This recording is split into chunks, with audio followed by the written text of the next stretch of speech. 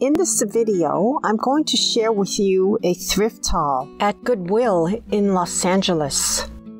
This was before my trip back to my hometown, San Francisco, so I have to actually do a lot of catch up.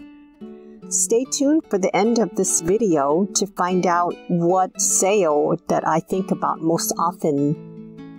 Welcome to my channel, La Vie Vintage Rose. I thrift in Los Angeles, and I also thrift in San Francisco, my hometown. This haul was actually uh, a two-day haul. This is a big thrift store, so I actually went back two days in a row one of the things that I saw in a cart were these two vintage board games. And I never saw these before, so I thought it might be worth something. But when I checked the comps, I saw that these games are very common and I put them back. But one of the things that I was able to find was this 1970s crazy quilt. It's a uh, big quilt. It's actually it's for a long twin. I didn't know that they had a size called twin long. But anyway, um, I did pick that up. I haven't sold it yet. These vintage crazy quilts do sell, and most of the quilts that sell are smaller than mine, so I do have mine priced at 119. The quilt did have a little damage to the back, and I might have to come down to around $100. But I do have watchers on the quilt, the quilt is very heavy, actually. Who knew that polyester was so heavy? Oh my goodness. I've inserted some images of some quilts that sold recently on eBay.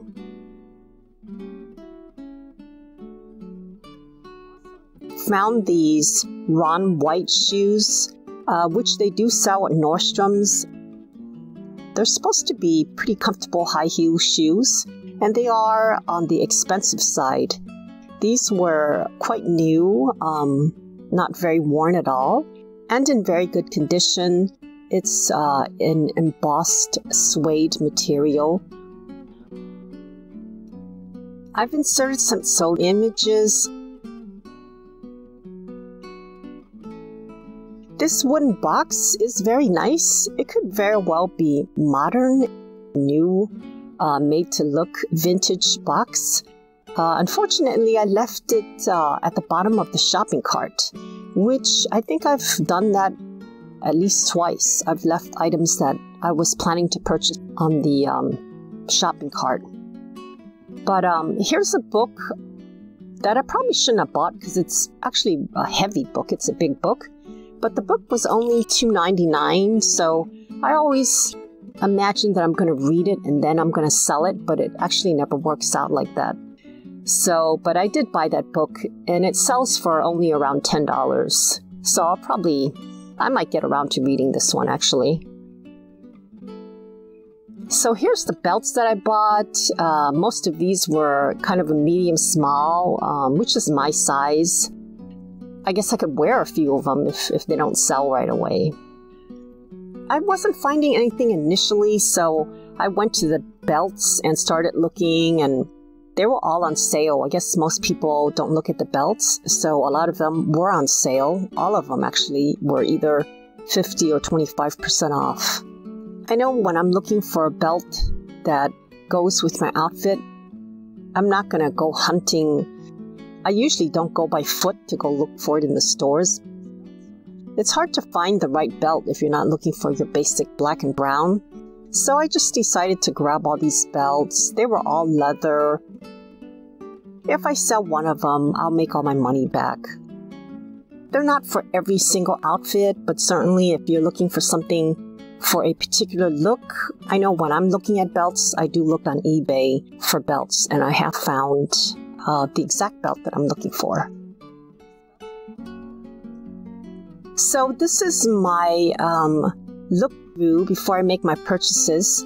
This is a Pierre Cardin Hawaiian shirt. And here are some sold comps. They don't sell for a lot. These two sweaters I did put back. I didn't get them because they were actually kind of priced up a bit. I noticed a lot of things at Goodwill is now averaging $9.99 to about $14.99. I even saw one used dress. It was priced at $16.99. So I didn't get these two sweaters. I put those back. I did get much of these men's athletic wear. For some reason, the store just had a lot of men's athletic wear. A lot of these were in very nice condition and really good brands as well. So that is the Under Armour. This is an ESPN athletic jersey top. And it could be for new subscribers, for people that subscribe to their channel. This is a Cloud9 athletic jersey. And they actually sell for quite a bit of money. I've inserted some sewed comps here. I hadn't seen this brand until I went to list the item. I'm glad I got it. Uh, it's really colorful, and there's a lot of corporate sponsors on the back of the shirt.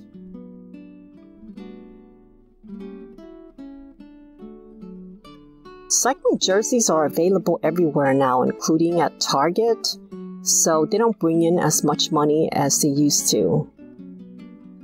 I used to be able to sell biking jerseys that even had several snags in them that were sort of worn.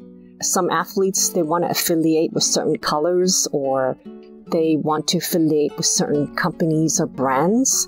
And so they will get the jersey if it's something that they relate to. And here are some sewed comps.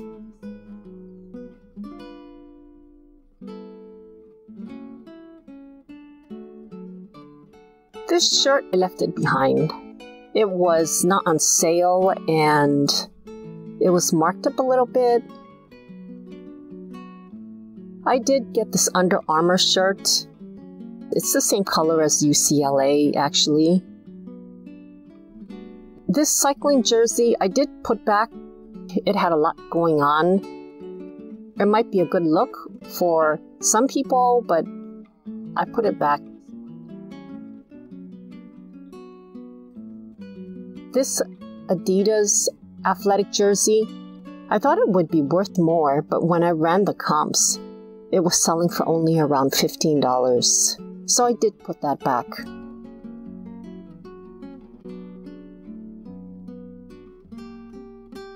As I mentioned earlier in the video, this is one of the things that I sold when I was a newbie that I regret selling.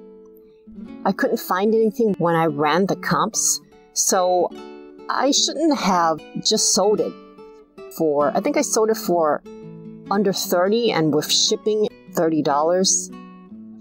So I accepted an offer and I told her that I would take her offer, but I would charge her, you know, such and such for shipping.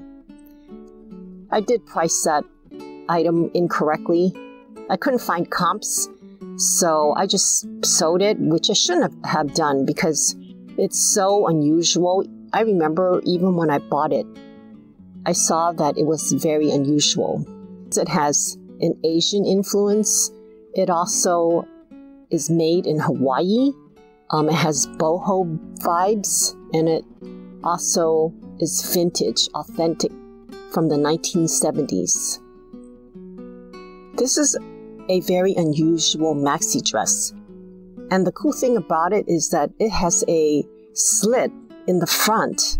So the slit actually goes up to the waist.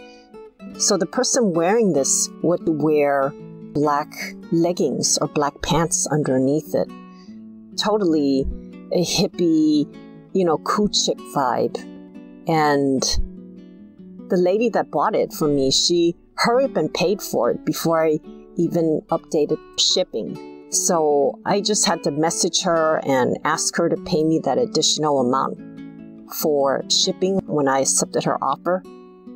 But she, uh, she kind of gave me a little bit of a comeback, and you know I had to correct her and let her know that I told her that the shipping was going to be increased and she just paid for it before I updated the shipping.